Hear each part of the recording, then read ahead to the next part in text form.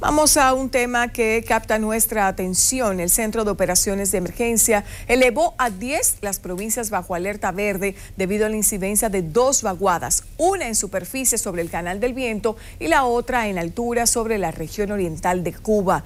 Las provincias bajo alerta son Asua, Montecristi, en especial la zona de Villa Vázquez, Santiago, Puerto Plata, Dajabón, San Juan de la Maguana, La Vega, en especial el área de Jarabacoa, Monte Plata, Santiago Rodríguez, la provincia Santo Domingo y el Distrito Nacional. Más temprano, la Oficina Nacional de Meteorología informó que para este domingo y el lunes las condiciones tendrán un aumento significativo en los aguaceros.